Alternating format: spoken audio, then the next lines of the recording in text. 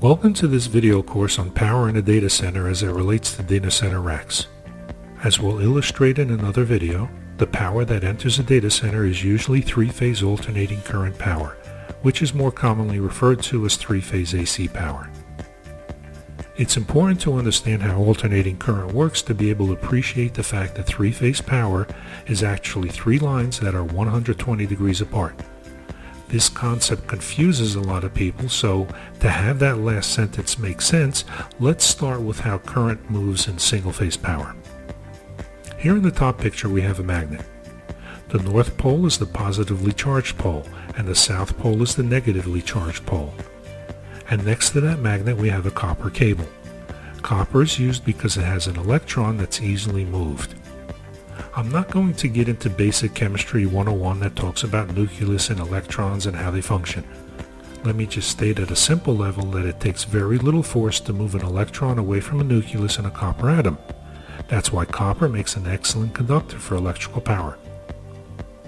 With magnetic forces, positives and negatives attract. If you have two magnets and hold the positive ends close together and let the magnets go, they would push away from each other.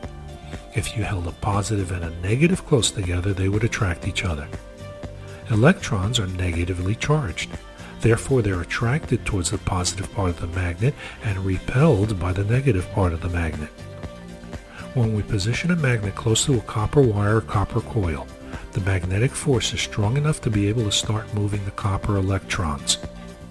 The electron closest to the positive pole of the magnet wants to edge even closer, and the one next to it wants to fill the void that the first one just left, and the one after that fills the next void, and a chain reaction starts in the copper wire. In this simplified example, I'm only showing one end of the copper instead of a loop. There are millions of these electrons in a piece of copper wire. As the electrons move, they generate current, Thicker wire will have more copper, which means it will have more electrons generating current. If the positively charged part of the magnet is directly next to the copper cable, the electrons will be moving towards the magnet at their maximum speed. The alternate part is if the negatively charged part of the magnet is directly next to the copper cable, the electrons will be moving away from the magnet at their maximum speed. Now let's take that magnet and start rotating it clockwise. The magnet is perpendicular to the wire. Note that both the negative and positive poles of the magnet are at equal distance to the copper wire. The attracting power of the positive pole is cancelled out by the repelling power of the negative pole. This means electrons aren't moving so no current is being generated. Current is expressed as amperes or amps, so the amps being generated here are zero. If we further rotate the magnet another 90 degrees, we have the south pole of the magnet next to the wire. This negatively charged section of the magnet is now repelling the electrons and they are moving in the opposite direction away from the magnet. The force of the electrons going from one copper atom to another, either towards a positive charge or away from a negative charge is what causes current. Alternating current is the current flowing from one direction, reaching a peak force, decelerating until it stops, and then reversing direction until it reaches another peak force, at which time it slows down and again stops. One complete cycle is from zero to maximum positive, back to zero, to maximum negative, and again back to zero. That's called a hertz. In North America, we have 60 hertz per second, and most of the rest of the world uses 50 hertz per second. A lot of people see the pluses and minuses like plus 2.3 amps and minus 2.3 amps and they get confused and think that one offsets the other. It doesn't. The positive and negative numbers are used to show the movement of the current. Current is caused by the movement of the electrons and it doesn't matter which direction the electrons are moving. Here's a simple analogy.